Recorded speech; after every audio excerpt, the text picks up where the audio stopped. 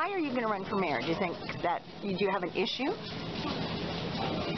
I've seen several things go wrong here in the city, and I do care.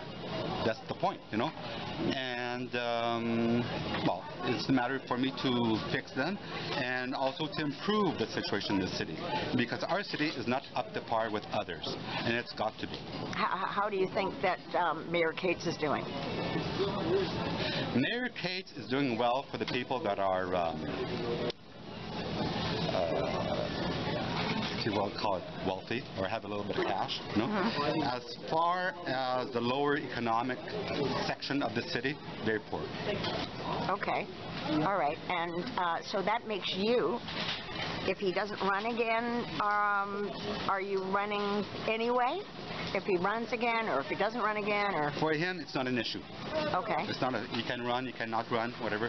But I mean, it's not an issue at all. And you think you have a chance to win? About him, of course. Oh, I have Michel Fillion with me today, and he's a very interesting person. He owns Superb Entertainment, which books exotic dancers into nightclubs, and he is an out gay male, which is really interesting because Glenn Murray was a very popular outward gay male, and in politics, it's it's now considered an advantage.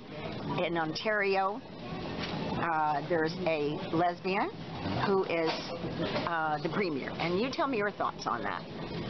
As far as her, Yeah. I mean, I congratulate her because, I mean, it's a tough grind being the premier of such a province with such a large population. It's a challenge. And like I said, I admire her for leading it on. You know, uh, and she's ma- and she's married to a woman. And ten years ago, that would not have happened, right? unfortunately, I am not married. I've been with my partner for 30 years. Are you getting no? married? Uh, I'm always saying uh, it's timing. It's not the right time. Oh, Even after 30 You're years. Like a, you're just